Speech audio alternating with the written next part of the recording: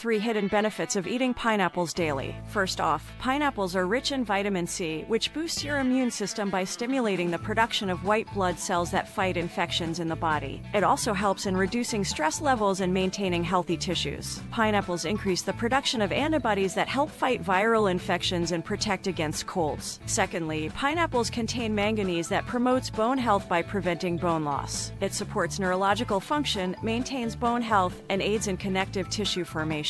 A lack of manganese can lead to osteoporosis in older adults. Lastly, pineapples have anti inflammatory properties due to the presence of bromelain, an enzyme that helps reduce inflammation in the body by breaking down proteins into smaller compounds that are easier to digest. Bromelain has numerous benefits for treating various health conditions such as arthritis and other inflammatory diseases.